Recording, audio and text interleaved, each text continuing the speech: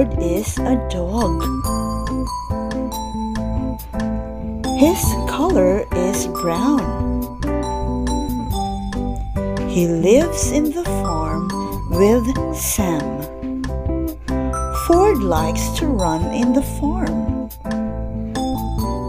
He runs fast. He likes to dig in the soil. But when he sees a worm, he barks and barks. He is afraid of worms.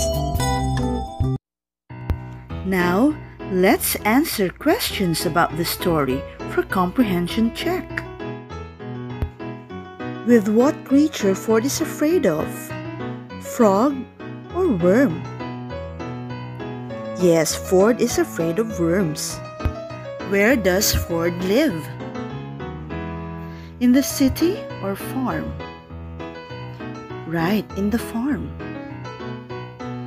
With whom does Ford live with? Sam or Dan? Yes, Sam. Can Ford run fast? Yes or no? Yes, he can run